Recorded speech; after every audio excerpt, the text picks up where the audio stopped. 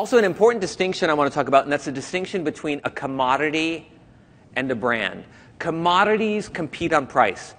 Pork bellies, crude oil, not very exciting, right? We don't get excited about one bushel of coffee beans versus another.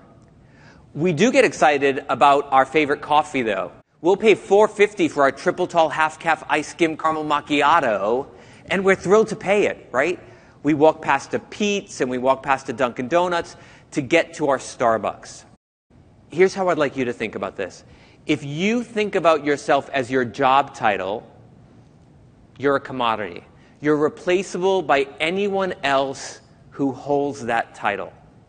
When you start thinking about yourself as a unique experience that you create every day with everything you do, that's when you're thinking about yourself as a brand.